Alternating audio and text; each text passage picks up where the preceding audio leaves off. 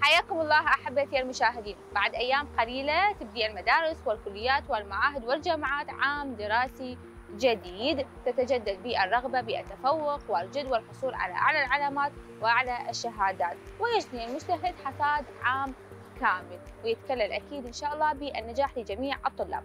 إذا بحلقتنا لهذا اليوم من برنامج ليش لا أننا نناقش هذا الموضوع المهم كيفية تهيئة الطالب لهذا العام واستقبال العام الدراسي الجديد آه، هناك سلبيات كثيرة تعاني منها مدارس العراق. هل آه، تم معالجتها مع هذا العام؟ يعني راح نشوف بعض المعالجات والأمور تم حلها إن شاء الله. وبالتالي أيضا سنناقش ارتفاع أسعار مستلزمات المدرسة كالقرطاسية وغيرها وكيفية معالجتها أيضا هل هناك رقابة على هذا الموضوع أم لا؟ تفاصيل كثيرة أكيد سنتعرف عليها سويا بحلقتنا اليوم لكن قبل أن نخوض بهذه التفاصيل تعالوا معنا لمشاهدة التقرير وراجعين مع انحسار أيام العطلة الصيفية المملوءة بالمرح والاسترخاء يبدأ الأهل في الانشغال بوضع استراتيجيات وأساليب تساعدهم على تهيئة أبنائهم لاستقبال العام الدراسي الجديد.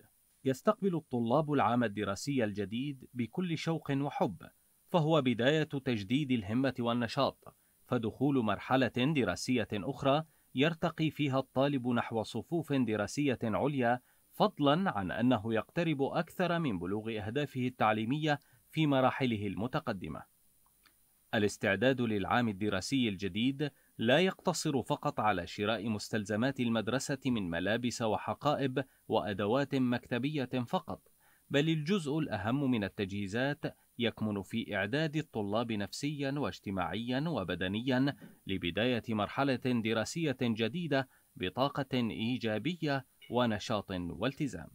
حيث يستعد عدد ليس بقليل من التلاميذ للالتحاق بالعام الدراسي الجديد بالرغم من أن نظام التعليم في العراق يعاني من عدة مشاكل أبرزها قلة المباني المدرسية التي تشكل عقبة أمام فرص تعليم التلاميذ وقدرة المدرسين على تقديم تعليم جيد بسبب وجود عدد كبير من الطلاب داخل الصف الواحد وصولا إلى أكثر من خمسين طالبا في بعض المدارس. وحسب مختصين مسؤولية كبيرة تقع على التربية والمدرسة والأسر في ترتيب وتنظيم الطلاب من أجل استقبال العام الدراسي الجديد بحب ونشاط.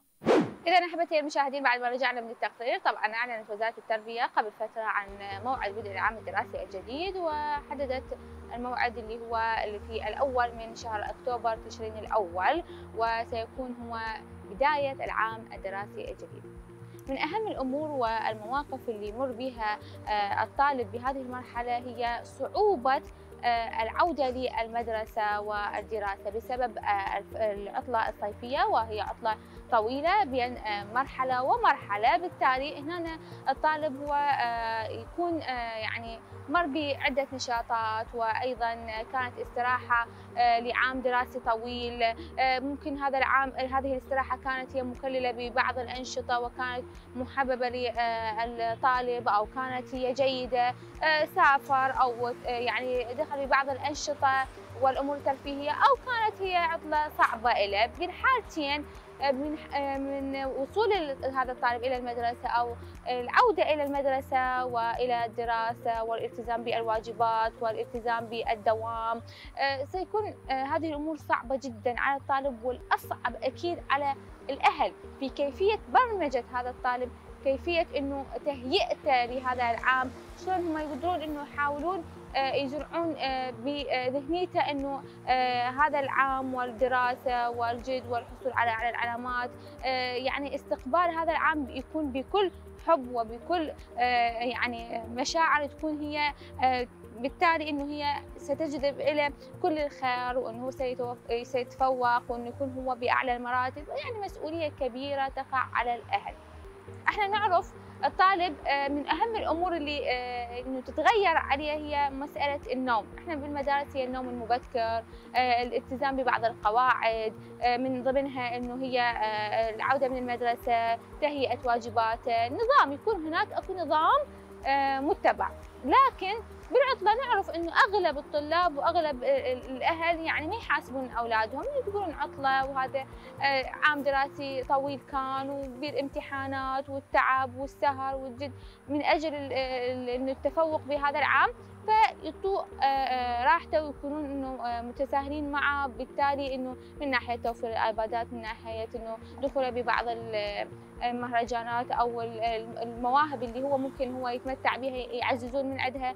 هنا راح تكون صعوبة في كيفية إنه أني أقدر إنه أجرد هذا الطالب من هذه الأمور اللي يتعود عليها فترة اربعة اشهر أو خمسة اشهر والعودة إلى المدرسة.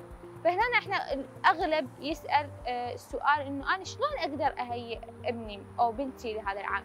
شنو الأمور اللي أقدر اني أتعامل معاها حتى أقدر اني آه، اعوده على نظام وأخليه إنه هو يتبرمج على نظام معين؟ ليش؟ لأن إحنا نعرف ببداية العام الدراسي تتعالى شكاوى المعلمين من ناحية إنه هذا الطفل نام بالصف إنه عنده شرود ذهني. إنه أغلب الطلاب انهم يتهربون أو انهم ما يريدون هذا العام. خلاص إنه أنا ما داوم أنا تعبت أنا ما أريد أتعلم على بعض الأنظمة اللي من خلال العطله فبالتالي السؤال هنا كيفية تهيئة الطالب للعام الدراسي الجديد؟ وشلون إحنا نقدر نشجع الأطفال والمسؤولية؟ أكيد تقع على الأهل بالمرتبة الأولى. شلون أنا أقدر أشجع ابني أو بنتي؟ نعرف الإجابة من صاحب الاختصاص نشوف الإجابة إحنا لكم أيام قليلة و للعودة إلى المدارس ورجوع الطلبة إلى مقاعد الدراسة.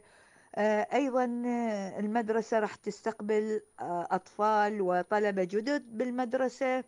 آه، على المدرسة تقع مسؤولية وكذلك تقع مسؤولية أخرى على الأسرة في كيفية تشجيع وحث الطلبة على دخول عالم الدراسة والابتعاد عن آه، كل وسائل اللي تشغل الطالب عن المذاكرة ومتابعة الدراسة. أول شيء آه، نجي على الأسرة. الأسرة تقع عليها مسؤولية خاصة اللي عندهم أطفال بسن آه، السادسة اللي هم في الصف الأول.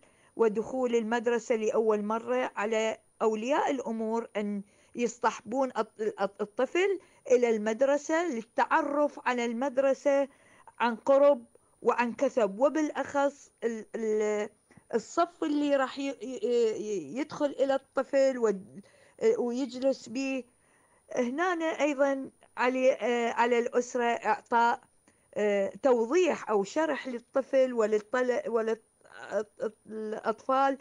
آه، عن عن المدرسة وعن كيفية الدراسة وكيفية الالتزام والانتظام والتعلم على عادات دراسية وعادات حياتية جديدة.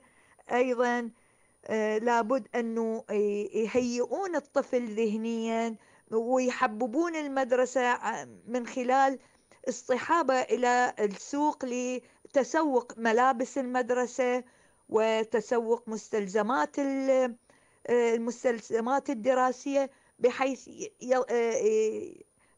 يخيرون الطفل باختيار الحقيبة اللي راح يحملها الدفاتر اللي راح يكتب بيها الأقلام يختارها هو برغبته بعدم فرض آه، آه، رأي الأب والأم بشراء آه، مستلزمات الدراسة حتى تكون قوة دافعة ومحفزة لتقبل الدراسة ولتقبل المدرسة.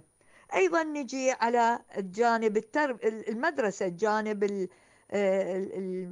وزارة التربية أن أن تعطي إيعاز للمدارس خاصة المدارس الابتدائية والمدارس المتوسطة اللي تستقبل طلبة جدد في آه، في مدارسها كأن يكون الصف الأول الابتدائي أو الصف آه، الأول متوسط أن يجعلون هذا اليوم يوم كرنفال احتفال بالطلبة الجدد و آه، وتعريفهم بالمدرسة وتعريفهم بمفاصل المدرسة واستقبالهم خاصة تلاميذ المرحلة الأولى الصف الأول.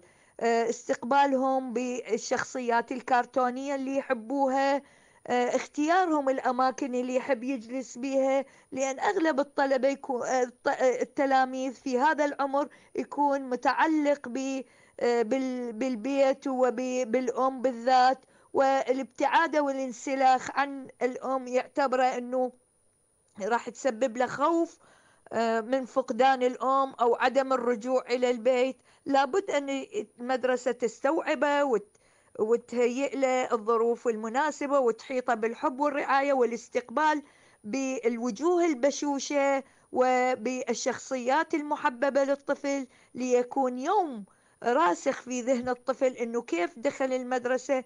لأن الأغلب آه، للكبر لما تسأل آه، الشخص إيش تتذكر آه، أول يوم من المدرسة أو دخولك المدرسة راح يذكر لك أول يوم دخوله للمدرسة؟ وكيف كان الاستقبال؟ سواء كان جيد أو سيء. حببوه بالمدرسة أو كرهوه بالمدرسة؟ لهذا المسؤولية ليست سهلة وليست آه، على على التربية والمد وإدارة المدرسة والمعلمات فقط وإنما ترجع إلى آه، البيت وعلى وعلى الأم والأب في كيفية تحبيب طفلهم بالمدرسة وعدم تخويفه بالمعلمة وعدم تخويفه بمديرة المدرسة وعدم تخويفه بعقوبات المدرسة حتى يذهب إلى المدرسة بتقبل وبحب ويتلقى العلم والمعرفة والأخلاق بكل مفاصلها بحب واهتمام أحبتي المشاهدين طبعا حالة القلق والتوتر هي تصيب الطرفين تصيب الأهل وتصيب الطفل. بالتالي علينا أن نسيطر على هذه الوضعية حتى نقدر أنه نسيطر على العام الدراسي وحتى نقدر نتفوق فيه. من الأمور المهمة جدا ونناقشها بحلقتنا لهذا اليوم نتحدث عن الأطفال الجدد اللي يسجلون بالمدرسة الطفل اللي هو عايش بعالمه الخاص. ما يعرف أكو مدرسة أكو التزام أكو واجبات عالمه اللي هو بين اللعب واللهو وهذه التفاصيل اللي يتمتع بها تفاصيل الطفولة. بين ليلة وضحاها ينتقل من مرحلة اللهو واللعب وهذه التفاصيل إلى عالم ثاني اللي هي المدرسة والواجبات والنظام والالتزام بمواعيد معينة سواء النوم المبكر و يعني يقعد من يعني الصبح وتفاصيل كثيرة وأمور تعتبر معقدة للطفل. إحنا نعرف هذه الصعوبة الأكبر اللي يواجهها الأطفال.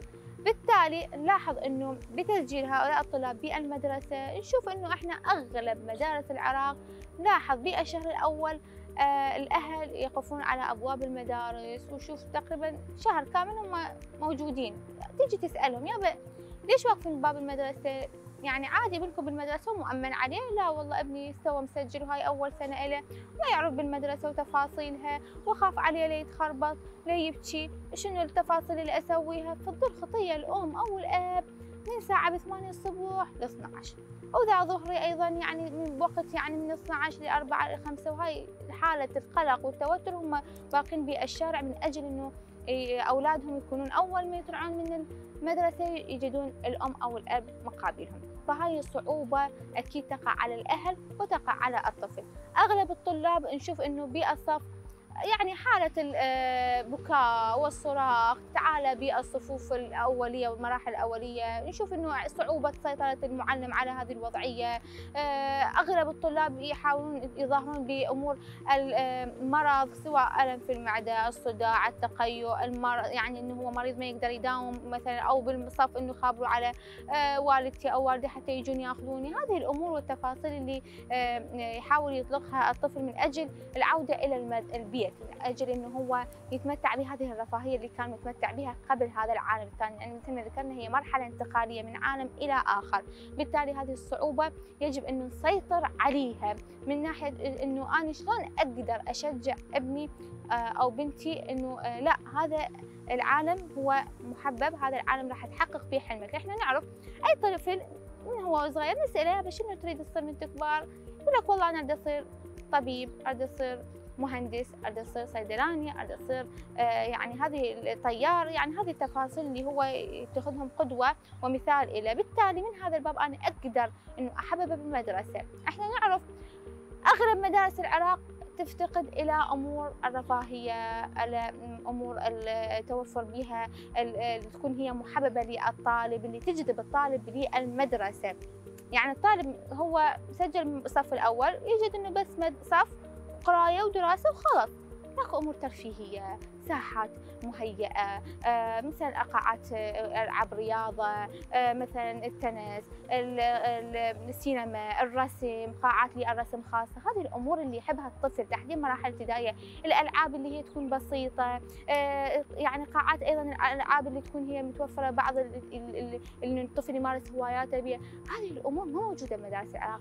أغلب مدارس دول العالم هي متوفرة بها تحديدا بالمراحل الابتدائية لأن نحن إحنا نعرف المدارس دول العالم من صف أول للثالث ماكو دراسة. هو مرحلة هي تهيئة الطالب لاستقبال الدراسة والامتحان وهذه التفاصيل المعقدة. إحنا لا من صف أول هو امتحان والتزام وكتابة وهذه التفاصيل. دول العالم لا يركزون إنه أنا شلون أحبب الطالب شلون أنا أهيئه ذهنيا لهذا العالم. إحنا بالعراق نفتقد هذا الشيء للأسف.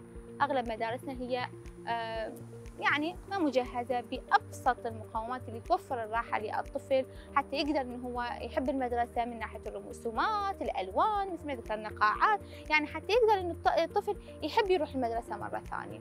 يعتبرها إنه هي شلون النادي يعتبرها إنه شلون هذه الأمور الترفيهية اللي هو مثل ما يمارسها بحياته الطبيعية فهذه المسؤولية تقع أكيد على وزارة التربية إنه شلون إنهم يهيئون المدرسة ويجهزوها بكافة التفاصيل حتى يقدرون إنه يكسبون الطلاب، بالتالي أيضا تقع المسؤولية الأكبر على الأهل وعلى المعلم وعلى الطفل بالتالي إنه هي حلقة متواصلة يجب العمل عليها سويا من أجل إنه إحنا نقدر نسيطر على الطفل.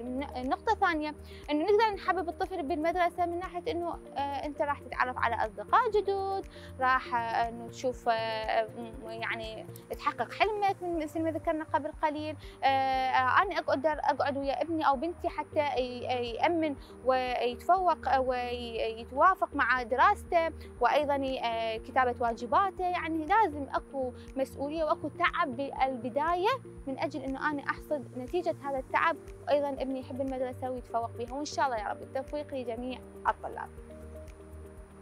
أما المعلم واستعداده لهذا العام فهذا بحث آخر أن المعلم يجب أنه يستجمع جميع قواه العقلية والفكرية والتهيؤ بكل حب لهذا العام الدراسي من أجل أنه هو كيفية يسيطر على الصف وعلى الطالب وأيضا أنه شلون يقدر هو يوصل المادة بصورة سلسة وسهلة شلون أنا أقدر أكسب الطالب إلي شلون أنا أحبب الطالب بي حتى يقدر أنه هو يشجع ويجي لي المدرسة. هاي أهم نقطة مثل ما ذكرنا قبل قليل مدرستنا تفتقد كثير من الأمور.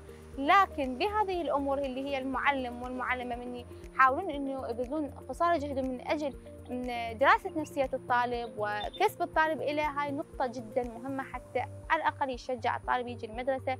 لأن نعرف الطالب من يحب المدرسة آه، أو يحب المعلم أو يحب مادة معينة راح يبدع بها بالتالي إحنا محتاجين إنه آه، جميع المعلمين والمدرسين إنه يتهيئون لهذا العام بكل حب.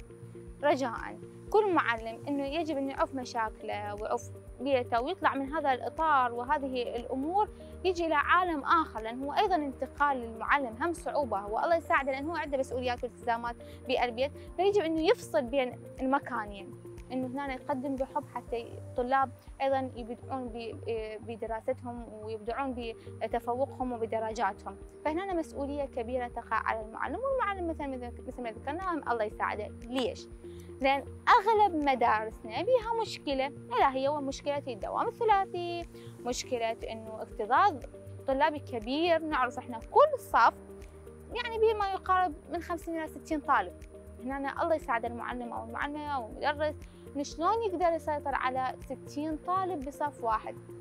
من ناحية الصوت آه، لغة الجسد آه، متابعة الدروس الواجبات آه، إنه يوصل المادة وطريقة إيصالها لذهنية الطالب. يعني تفاصيل كثيرة وعديدة. إحنا نعرف إنه متعارف عليه الطالب يعني الصف يكون به تقريبا 20 طالب بالزايد 25 طالب. لكن للأسف هنا شفت أغلب صفوفنا تحديدا الصف الأول. كل مدرسة بها كل صف 50 إلى 60 طالب وحتى وإن كانت المدرسة هي آه، يعني بمناطق راقية مو المناطق الشعبية. المناطق الشعبية هي بحثا آخر طبعا. فهنا محتاجين مثل ما ذكرنا إنه قبل قليل إن امور هي تجذب الطالب. أهم نقطة اللي هي مثل ما ذكرنا ما متوفرة كل المدارس بالعراق لكن شلون هو يكسب الطالب له وشلون يخليه انه هو يحب المدرسة ويحب الدراسة. للأسف بعض المدرسين إن هم ينقلون حياتهم الخاصة إلى المدرسة ويكونون بسلبية كبيرة وهذه السلبية تنعكس أكيد على الطالب وعلى تفوقه وعلى طريقة إيصال آه، المادة للطالب ولذهنية الطالب. بالتالي نحتاج إنه بعض المدرسين يدخلون دورات لأن أغلب مدارس دول العالم المعلم والمدرس بفترة العطلة أكو دورات خاصة له من من يا ناحية. ناحية إنه هو شلون يدرس نفسية الطالب؟ وشلون هو يقدر إنه هو آه، يحاول إنه يسيطر على الطالب بطريقة محببة بطريقة إنه هو آه، ما يتعصب عليه يعني ما يكون تجاوز. نشوف أكو احترام بين الطرفين. إحنا هنا بالمدرسة لا بالعراق نشوف إنه المعلم إذا حاول شوية يتجاوز على الطالب مو تجاوز لفظي متجاوز ليش ما حضرت واجباتك يعني هذه الأمور راح نشوف أنه الطفل أيضا والطالب يتجاوز على المعلم. فهنا راح يكون آه، هناك آه، يفتقد الاحترام آه، بين الطرفين. فإحنا محتاجين إلى دورات تأهيلية دورات إنه المعلم إنه يحاول يدرسها ويحاول إنه هو يدرس ذهنية الطالب نفسيته شلون لغة الجسد والتعامل وأيضا نريد نتعرف على آه، مشاكل اللي يعاني منها آه، آه، تعاني منها المدارس طبعا وأغلب السنين إنه هي إحنا نناقش موضوع الاكتظاظ وانه نحتاجين مدارس كبيرة ومحتاجين أعداد كبيرة وهاي التفاصيل كثيرة. فنريد نسال السؤال هنا. هل تم معالجة هذه السلبيات اللي تتمتع بها المدارس من ناحية أنه توفير مدارس جدد أو توسعة المدارس الحالية؟ ما هي خطة العام هذا الدراسي الجديد؟ ما هي الخطة لوزارة التربية من أجل أنه إحنا يمر هذا العام الدراسي بكل حب وبكل يسر وبكل سهولة. إيش تجاوب إحنا لكم أه، أكيد أه، كل مدارس العراق بس بغداد أكو اكتظاظ بعدد السكان وأكو زيادة أه، خلينا نقول ملحوظة في عدد الموجودين في المدارس. ولهذا صار دوام أكثر من دوام واحد صار دوامين وقسم أكو يقولون أكو ثلاثة. آه، إحنا الآن قاعد نبني مدارس في آه، قدر الإمكان في أي مكان أكو فرصة أكو أرض جاهزة نبني بيها. إحنا ما عندنا مشكلة بالبناء إحنا عندنا مشكلة بالأرض. الأرض لحد الآن يعني آه، بها مشكلة إما تكون زراعية إما تكون غير تربوية إما تكون غير مخصصة التربيه وتعليمات وزارة التخطيط ما يدرج أي مدرسة لغرض البناء إذا ما تكون إنه مخصصة فعلا للتربية أو ملك إلى وزاره التربية يلا نقدر نشتغل بها. هذه المشكلة هي الوحيدة اللي بيننا وبين آه، بناء المدرسة ولا إحنا يعني مخصصين آه، جدول كامل وباب كامل لبناء المدارس وما عندنا مشكلة في هذا الموضوع. بقى التنسيق مع التربيات، الآن أصبحت التربية آه، كل التربيات موجودة في بغداد الستة تابعة لوزارة التربية. ونحن نتعامل مع وزارة التربية. الوزارة تكون تصفي أمورها وترفع لنا هذه القطع المتاحة لغرض البناء وإحنا ما علينا إنه ندرجها ونبنيها. إن كانت التربيات على على المحافظة كنا إحنا نتعامل مباشرة مع مدير التربيات ونحاول نذلل الصعاب وأعتقد أنجزنا عدد لا بأس به يعني عدد كبير من بناء المدارس والابنيه التربوية فاق 300 مدرسة خلال السنتين الفائتين أو خلال هاي السنتين ونص. على كل إحنا مستعدين لبناء آه، آه، أبنية مدرسية جديدة أو إذا كانت مدارس قديمة هدم واعاده بناء أو إضافة أجنحة تربوية أجنحة مدرسية صفوف داخل المدرسة إذا كانت مساحتها تسمح أو بناء مؤسسات تربوية. المحافظة تتكفل بذلك وليست لدينا مشكلة فقط مشكلتنا في آه، تصفية الأرض المتاحة لغرض بناء آه، منشآت تربوية عليها. إذا أحبتي المشاهدين من أهم النقاط اللي يجب النقاشها بحلقتنا لليوم آه، نقطة مهمة اللي هي مستلزمات المدرسة. قبل شهر إلى شهرين تقريبا آه، بدأت المحال التجارية والأسواق والمجمعات بإعلان عن انطلاق آه، مهرجان القرطاسية ومهرجان مستلزمات المدرسة كافة. وأصبح هناك تنافس بين التجار وبين المحال التجارية من ناحية آه، توفيرها بألوانها وأشكالها وغيرها من التفاصيل. أيضا أصبح هناك تنافس بين المحال التجارية والبيع المباشر وبين الإعلان والتوصيل والبيع الإلكتروني وغيرها من التفاصيل هنا صار صار إنه الأهل بدأ أيضا هناك تنافس بين الطلاب وبين الأصدقاء بالذهاب لكذا مجمع وكذا محل من أجل اقتناء مستلزمات المدرسة كافة. المشكلة وين؟ المشكلة نتحدث بها عن غلاء الأسعار بما يخص مستلزمات المدرسة، لاحظنا هناك أسعار مبالغ بها. والمشكلة وين؟ المشكلة أنه هذه القرطاسية المتوفرة بهذه المجمعات هي أنه تجبر الأهل لشرائها وتجبر الطالب أنه هو يشتريها ويقتنيها وأنه لازم يحبها وخلاص انتهى الموضوع. إنه أني لازم أني صديقي كذا شغلة حيشتري وأنا لازم أصير أحسن منه واني أشتري كذا شغلة. هذه التفاصيل اللي نعرف إنه الطفل اللي يحب يتنافس فيها وانه إحنا نعتبرها والأهل يعتبروها إنه ما يخالف حتى يشجع حتى يداوم حتى هو وصديقه وهذه التفاصيل الكثيرة العميقه اللي دائما تذكر بخلال العام الدراسي.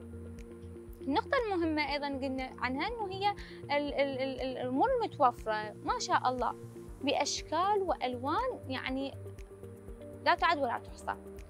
من ناحية المخططات المساحات الأقلام الدفاتر وألوانها وأشكالها الحقائب المدرسية الملابس المدرسية تفاصيل كثيرة يعني مجبر أنه أنت تشتريها. لكن المشكلة وين أيضا؟ المشكلة الأخرى أنه آه الأهل إذا عندهم أكثر من طالب شلون؟ إذا عندهم بدل الطالب مثلا أربعة إلى ثلاثة إلى خمسة شلون راح يقدر يسيطر؟ أغلب العوائل العراقية هي فقيرة هي هي يعني يا دوب مكفية عيشتها ومستلزمات البيت. شلون راح تقدر تسيطر على مشتريات المدرسة؟ إنه أنت متروح تاخذ ابنك أو بنتك مجبر لأن أنت تريد تفرحة وما تقدر تكسر بخاطر إحنا نعرف إنه أي أب أي أم إنه من ياخذون أولادهم لأي مجمع وإن كانت غير المدرسة يعني أي حاجة يحب يشتريها الطفل وحتى وإن كان يقصر على نفسه وعلى بيته من أجل إنه يفرح ابنه. فشلون بمدرسة ومستلزماتها وأدواتها وغيرها من الأمور. أصبح هناك تنافس بالأسعار هناك مبالغة بها يعني. آه، شنو أنا أشتري حقيبة مدرسية؟ تحديدا نحكي عن الحقائب المدرسية بما يخص البنات. إذا كانت بدون عربة تصل إلى 30 إلى 40 أما إذا آه، حقيبة مدرسية أم العربة فهنا من 60 إلى 70 ليش؟ هنا الطفل من يعني يجبر أهله إنه أنا أريد هذه حقيبه خلاص أنا صديقي آه، يأخذ حقيبة أم العربة. العربة أسعارها مبالغ بها زين أنا شلون راح أقدر أسيطر؟ نلاحظ هناك آه، آه، ما موجودة رقابة على السوق. ما موجودة رقابة حقيقية على الأسواق بما يخص الأسعار. ليش هذا الارتفاع؟ حتى آه، أدوات الولد يعني كحقيبة يعني أيضا تصل إلى 20 30 يعني. بس إنه أنا آخذ حقائب بهذا السعر والمشكلة انه الطفل ما يقتنع ما يقتنع إنه هذه الحقيبة مثلا عنده حقيبة جديدة ومحافظ عليها إنه يداوم بها السنة الجاية. لا خلاص إنه هاي ما اداوم بها. أصدقائي يشوفوني يشكرون علي صديقي كذا إنه هو مشتري هذه الحقيبة أنا ما أقدر أداوم بها أو البعض يتخذوها حجة أنا ما اداوم شنو أداوم؟ ملابس قديمة. يعني هنا مسؤولية يعني هنا الطالب الواحد يكلف أهله 200 ألف هاي يعني هاي أقل شيء يعني بين حقيبة دفاتر هذول القرطاسية يعني مطارات المدرسة اللانش بوكس يعني ذني الأمور من غير الملابس وتكرمون الأحذية وغيرها من التفاصيل. يعني هذه أمور يعني هذا الطالب واحد 200 إذا أن إذا أنت عندك فد أربعة خمسة شلون راح يسيطر؟ فإحنا محتاجين رقابة حقيقية على هذا الموضوع محتاجين أن نسيطر. المشكلة أنه كان في السابق مسؤولية التربية توفر قرطاسية. هاي أبسط نقطة. دفاتر أقلام مساحات مطلعها توفرها وتوزعها على حسب الأصول. لكن للأسف إن افتقدنا هذا الأمور. يا دوب إنه إحنا نريد بس يأمنون الكتب. يا دوب يريد بس يأمنون طباعة كتب جديدة مو قديمة ويعني غير صالحة للاستخدام. نتمنى إنه بس أصبحت العراقية تتمنى بس إنه يجهزوهم كتب لأن بعد المدرسة هنا كتاب ناقص هنا بين ما تجهز التربية هنا تروح تشتري الكتب هنا يعني بأسعار أيضا مبالغ بها وصل تنافس بين التجار وشلون أنا أأمن الكتب وغيرها من التفاصيل. فمحتاجين رقابة حقيقية لأن فعلا الله يساعد الأهل والله يساعد كل آه، شخص عنده أكثر من طالب. وهنا أيضا يصير تنافس بين الأخوة وشلون أنا أقدر امن هذه المستلزمات. فيعني شنو lunch box أنا أخذها ب 12000 ليش؟ ليش؟ فهنا أسعار مبالغ بها وهي كلها استيراد وكلها أمور حتى مو أمور محلية حتى نقدر أيضا نسيطر على السوق. فالسؤال هنا إنه إحنا نريد نسأل وزارة التربية هل هي أمنت الكتب بصورة سلسة؟ يعني إحنا نعرف وزارة التربية متى تأمن القرطاسية. على الأقل محتاجين نسأل العام السابق طبعت الكتب بوقت متأخر. بالتالي صار أكو تأخير والأهل تكلفت عبء آخر هي اللي شراء الكتب. فالسؤال هنا هل أمنت هذا الموضوع؟ أمنت الكتب بصورة سلسة وأنه هي تغطي كافة الطلاب؟ آه، هل هناك تغيير ببعض المناهج حتى أنه كطباعة جديدة وغيرها من الأمور؟ نريد نعرف على هذه التفاصيل. أكيد من أصحاب الاختصاص. شوف تجاوب إحنا نكون راجعين يعني من المؤكد أن المناهج الدراسية هي نتاج بشري ونتاج إنساني.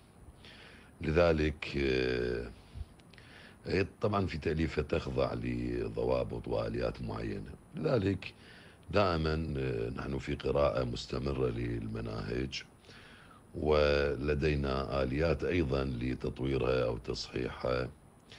نعم أنا مع القول القائل أنه هنالك بعض المناهج آه، تحتاج إلى دائما إلى مراجعة حثيثة ومستمرة. إذا كانت العلوم الصرفة فدائما العالم في تطور كبير جدا. وأيضا فيما يتعلق بالعلوم الإنسانية أيضا تحتاج إلى مراجعة وإلى تدقيق خصوصا فيما يتناسب مع أعمار الطلبة ونظرية المعرفة الحديثة. لذلك دائما تضع الوزارة والقائمين على المناهج بعض الأمور التي من شأنها تنقيح المنهج ومراجعته. لكن الخطوات نحتاج بها إلى ثورة تصحيحية حقيقية وكبيرة تتناسب مع المتطلعات آه، أو المتطلبات عفوا تتناسب مع المتطلبات المعرفية العالمية وما يتناسب مع الوضع العراقي. لذلك آه، نحن آه، يعني في الوزارة دؤوبين دائما لجعل مناهجنا آه، أكثر آه، موائمة للاستيعاب العقلي والإدراكي للطلبة وسد الثغرات هنا وهناك في بعض هذه المناهج.